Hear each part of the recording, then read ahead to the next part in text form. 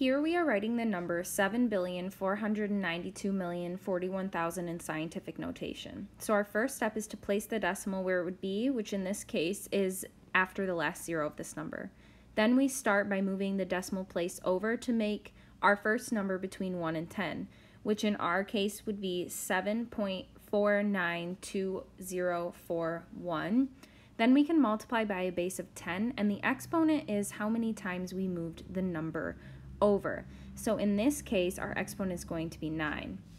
Since we are making the number bigger, it is a positive and not a negative. So our final answer is 7.492041 times 10 to the ninth.